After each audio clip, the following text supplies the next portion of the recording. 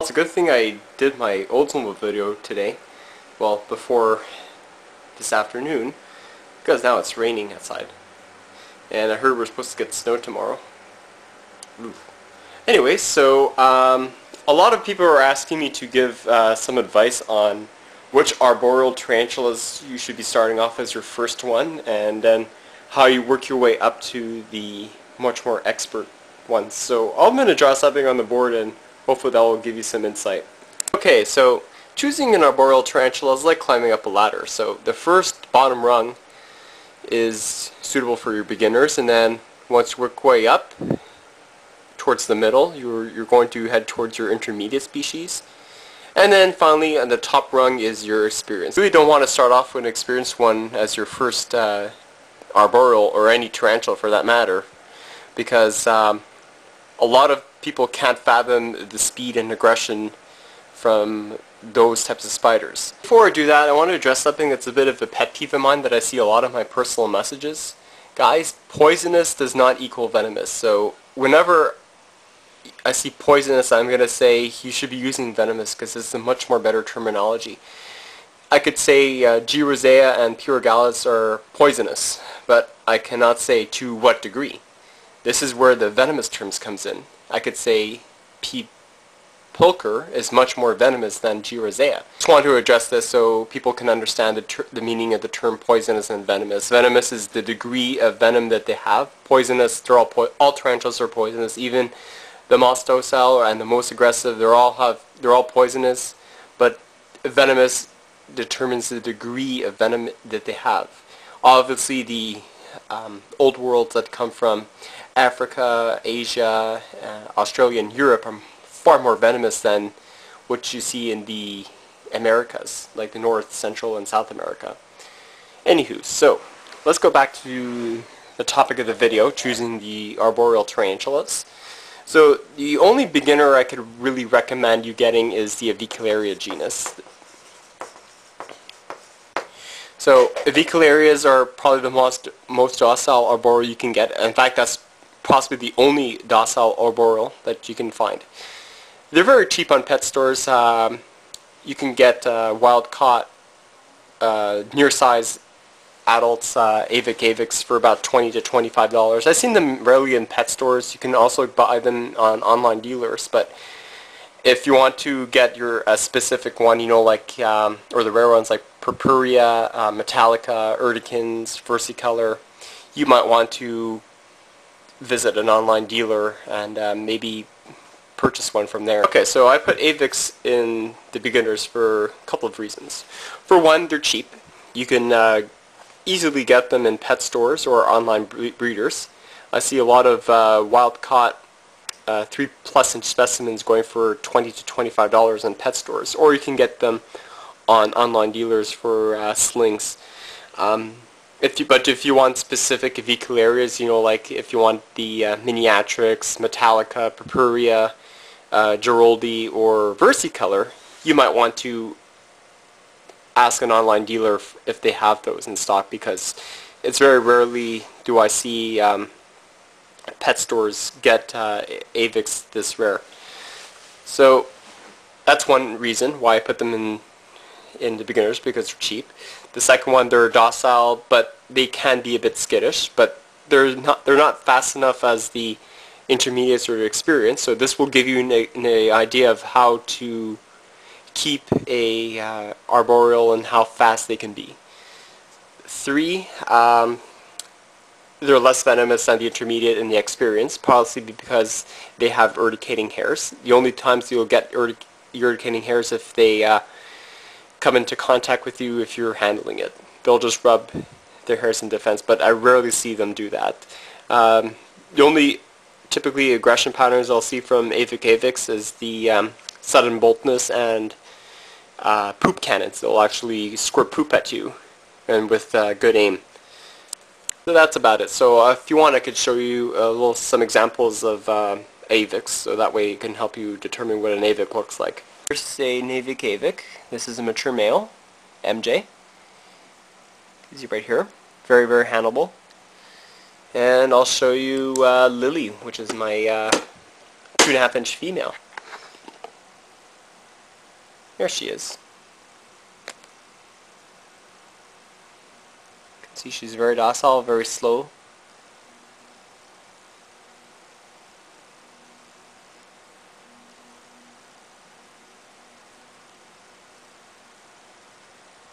I'll just give a good little handling video if she lets me.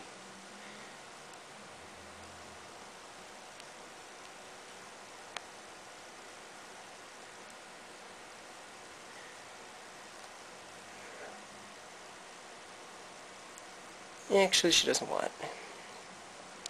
But as you can see, they're very slow, very predictable, and uh, they make great handling pets compared to your G. rosea. So I'll show you some other ones. So I have a five and a half inch female Avicularia versicolor named Tetra in here. Uh, apparently she's hiding, so we won't see her, but here's the cage. It's just an ordinary five gallon tank on its side with uh, some fake leaves and plants. And substitute just use some vermiculite, that's all you need. So just be sure if you want to house an arboreal, just keep it tall and uh, and a lot of uh, bark so you can climb. So that's a Vaclaria Vaclaria. I'll show you the urticans right now. And this is Cat. This is my Avicularia urticans. This is the giant Peru pinktoe. She's close to 5-6 inches right now. She's the largest one that I have and you could see she's uh, very calm and very docile. She's just huge. See, the only problem about Avix is that they don't like the touch of skin. So this is why sometimes they'll be spooked when you do, when you try to handle them. But if you want to take it very slow, they'll be great. And yeah, she's a pooper. But yeah, she's very cool. Alright, now for the intermediates. Now for the intermediates, these are something that if you want to go a step up from Avicularia, so you want it to be a bit more faster, a bit more aggressive, and slightly more venomous. So the intermediates that I recommend are the Psalmopoeus, which is, includes the Cambridgei, Pulcher, uh, Irminia, and Reduncus. Reduncus is actually the a bit more rare to find, but I'll show you the ones that I have and I'll tell you more about them. Okay, so here's an example of a Psalmopoeus. This is my 2-inch female Psalmopoeus pulcher, Panama Blonde. This is Rosalina. If I can get the flashlight. There we go. Here she is. This is a 2-inch female. Uh, wouldn't exactly handle these tarantulas because uh, these are known to be pretty badly tempered. Not so much as P. And Reduncus is probably about the same temperament as the Pulcher. But you can see this is a 2-inch female, and she hates being messed around with. As far as keeping conditions are concerned for Psalmopoeus, they're very easy to take care of. I keep them just like any like pokies or any other teas. Um, I keep my room generally around 79 degrees Fahrenheit during nighttime and about uh, 82 degrees Fahrenheit during the day. With the help of the space heater, I just leave it on a couple of hours a day, not not 24 hours. And that's about it. So keeps it warm and misting I just miss about once a week. I just pour warm water over the substrate and that's about it. But you really must important to have ventilation and it is extremely important for Avicularias because they thrive on high heat, high humidity, and high and well ventilated conditions. If you don't have any of those three, it um, may not survive well. That's uh, that's the problem that I have experienced with uh, my Avicularia fasciculata and a couple of my avixlings that uh, apparently die with no reason. That's why they usually refer them to sudden avic deaths. But anyways, that's uh, my pulcher, so I'll show you the other two Psalmopoeus that I have. Bench female Psalmopoeus cambridgei, Trinidad chevron. Uh, same conditions I keep as my pulcher. So this is a critter keeper with a lot of uh, cork bark, or far away from outside, so that way she can uh, climb. So apparently for these temperaments, uh, slightly calmer than Irminia and Pulcher and Reduncus. I actually would recommend these, getting these as your first Psalmopoeus. Irminias I probably would rank them as experts because they are known to charge and um, they're much more aggressive than uh, most. But uh, very underrated in the hobby, these guys. Um, you got about having a 7 to, no, 6 7 inch leg span. Uh, freshly molted specimens are moss green with uh, like orange toes you can see right here. Yeah, and I used to handle a mature male back into the past. I used to have one, and uh, he was really calm. So I don't really endorse handling Psalmopoeus just because of their unpredictable nature. There's the molt from my Brachypelma boehmei, Mexican fireleg. She grew really big, but uh, she's full grown. Alright, now time to see the Irminia. So here's, uh, here's what she looks like when handled. Pretty big. And here's the Psalmopoeus Irminia. This is a 3-inch female named Josie. Uh, wouldn't exactly get them as your first Psalmopoeus, I would wait till you deal with Cambridgei first before you attempt to get this one. Partly because uh, these are pretty nasty tempered and they are known to charge at you. They're just like Haplopelma lividum in their behaviors. Really aggressive and uh, I heard some of them can actually stridulate in defense. And because Psalmopoeuses don't have urticating hair, unlike Avix, uh, these make it a bit more venomous than them and slightly more aggressive. But that's a shot for... Alright, time for now the experienced ones now. Now for the experienced ones. These are the ones if you want to go beyond the Psalmopoeus genus. So um, I'll label the ones, the genus that I'm keeping as right now. So if you want to start off with a, a good experienced one first, um, I would suggest Pokies. The yeah, Pokies. You guys know what they are. They're a Poecilotheria genus. And then if you want to step up from that, I would go for um. Know, the Heteroscodra maculata, the Togwitz baboon. That's another one because their slightly more venom. Um, then if you want, then the next one, to step up from that, would be the Tapinauchenius, the Tapes, or the Iridopelma genus. I only put them at the top of Heteroscodra because these are the fastest in the world. The, the Gigas is the fastest one. Um, but mind you, they're not that venomous, so that's why I ranked them a bit higher. And the experienced one, the top top one in the list is Stromatopelma you know, the calceatum, the feather-leg baboon. So, I'll show you some good examples of pokies, Heteroscodra, Tapinauchenius, and Stromatopelma. For the pokies, well, as I said in my tarantula nighttime video 14, you know, the one with my Poecilotheria petersoni drumming, uh, I suggested getting a P. regalis, Indian ornamental. Those, these are one of the most readily available and cheapest of them all. Then you could probably get yourself, you know, the fasciata, the other ones like the rufilata, Ornata, Formosa, Metallica, Miranda, Tigrina Weselli. There's just a lot of them.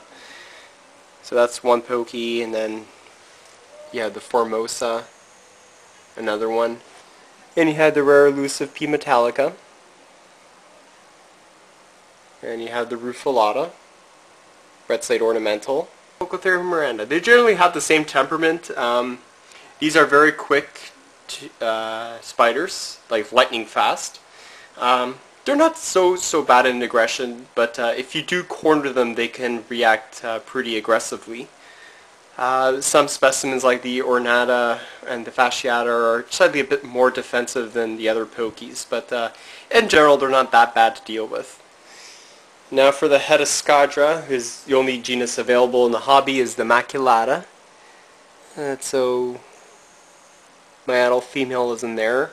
And I have, here's the juvenile, 3 inch female. These are really quick spiders. Uh, they can be pretty nasty tempered, very quick and uh, very accurate when they attack. So you see some handling videos on them, I wouldn't suggest handling those.